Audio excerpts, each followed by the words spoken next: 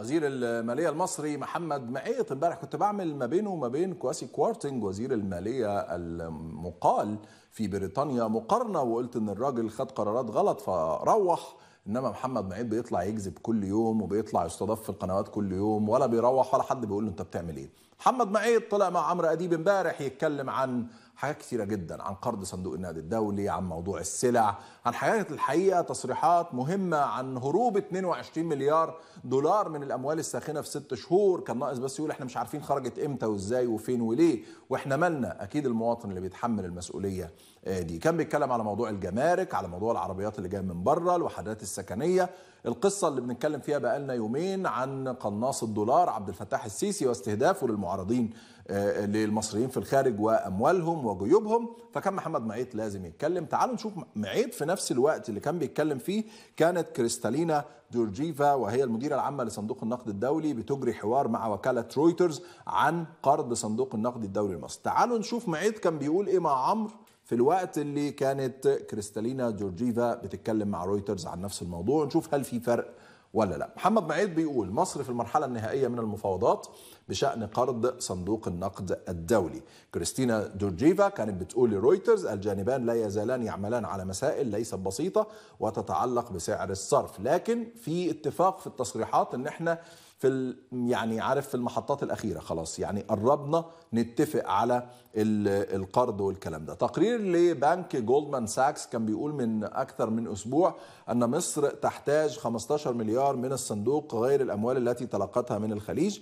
ده تقارير بنك جولدمان ساكس. لكن قيمة القرض المتوقعة في الحقيقة وفقا لتقديرات خبراء اقتصاديين كثر لن تتجاوز الخمسة مليارات دولارات. وربما تكون أو تتراوح ما بين 3 إلى 5 مليار دولار. الجنيه المصري الحقيقة هو واحد من أسوأ العملات أداء في العالم في عام 2022 وضعف العملة أدى إلى تفاقم التضخم بنسبة 15% تعالوا نشوف محمد معيط قال إيه أو جزء من تصريحات وزير المالية المصري محمد معيط مع عمرو أديب بالأمس.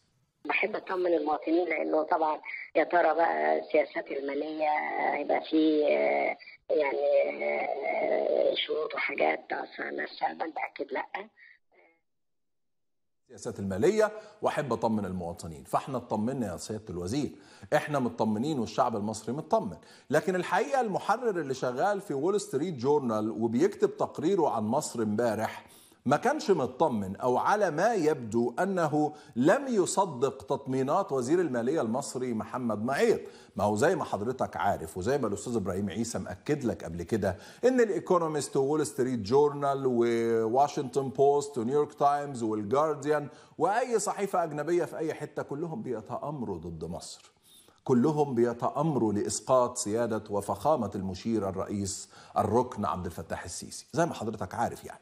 ففي الوقت اللي معيط كان بيقول فيه العمر المواطنين يطمنوا ما عندناش مشكلة اوعى أي حاجة تقلقك الأمور زي الفل الأسعار تمام. كانت وول ستريت جورنال بتنشر تقرير خطير الحقيقة. بتتكلم أنه يجتاح مصر في الوقت الحالي. نقص حاد في الأدوية والملابس والمواد الغذائية نتيجة شح الدولار. معيط كان بيقول إن إحنا خرج من عندنا 22 مليار دولار في ست شهور وول ستريت جورنال كانت بتقول كلام مشابه. يجتاح مصر نقص حاد في الأدوية والملابس والمواد الغذائية نتيجة شح الدولار. مصر هي من أكثر البلاد عرضة لإيه بقى؟ للصدمات الاقتصادية في العالم. استخدمت مصر الديون وثروات الغاز الطبيعي المكتشفة حديثا لضمان بناء عاصمة جديدة. نقف هنا شوية. نفس القصة اللي بتطاردكم اللي كنت بحكي فيها امبارح بروزوها يا جماعة. إما غباء وإما فساد وإما فشل. هنا وول ستريت جورنال بتتكلم على نقطتين أو يمكن الثلاثه الغباء إنك خدت الديون وثروات الغاز الطبيعي ما هو ده غباء. وداخل فيه فساد وداخل فيه فشل. ليه؟ لأنك ما حلتش المسألتين دول. ما هو أنت كان المفروض أو الطبيعي إنك تاخد من هنا الديون. وتاخد ثروات الغاز الطبيعي المكتشفة حديثا وتطلع بيها تعالج النقص الحاد في الأدوية والملابس والمواد الغذائية وتعالج شح الدولار مش كده؟ لكن اللي حصل إيه؟ وبالتالي ما كنتش هتبقى من أكتر البلاد عرضة للصدمات في العالم لكن أنت عملت إيه؟ الغباء والفساد والفشل خدت الديون خدت ثروات الغاز الطبيعي وول ستريت جورنال بتقول لك إيه؟ ورحت وديتها للعاصمة الإدارية الجديدة. وبالتالي النظام في كل مرة في كل تقرير بيؤكد التهمة أو العنوان العريض اللي قلناه عليه امبارح. غباء وفساد وفشل. بتقول كمان وول ستريت جورنال إن البضائع لا تزال مكدسة بالموانئ المصرية. عشان إيه؟ بسبب عقبات تمنع المستوردين من الوصول للدولار. مفيش دولار فعشان كده أنا هجيب اللي في جيبك اللي قاعد بره. صندوق النقد الدولي بيشدد على عدم صرف أي دفعات من القرض قبل إيه؟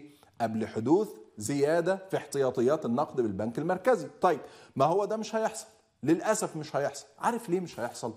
عشان الخبر اللي إحنا بنختم لحضرتك بيه القصة. هتقول لي الخبر ده إيه علاقته؟ هقول لحضرتك.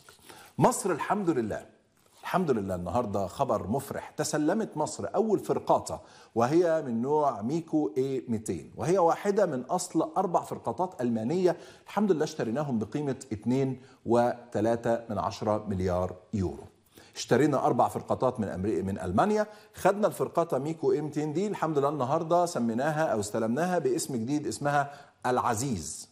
معرفش ده لأن السيسي هو عزيز مصر ولا حاجة تانية. لكن الفرقاطه اللي إحنا استلمناها اسمها العزيز الحمد لله. ده من الموقع الرسمي. النهارده كان ناشر الصور التوقيع العقد واستلام الفرقاطه فاحنا رحنا صرفنا 2 مليار يورو عشان نجيب أربع فرقاطات الحمد لله. وعندنا شح دولار وعندنا مشاكل كبيرة جدا. الفساد والفشل والغباء هو عنوان عريض لنظام عبد الفتاح السيسي.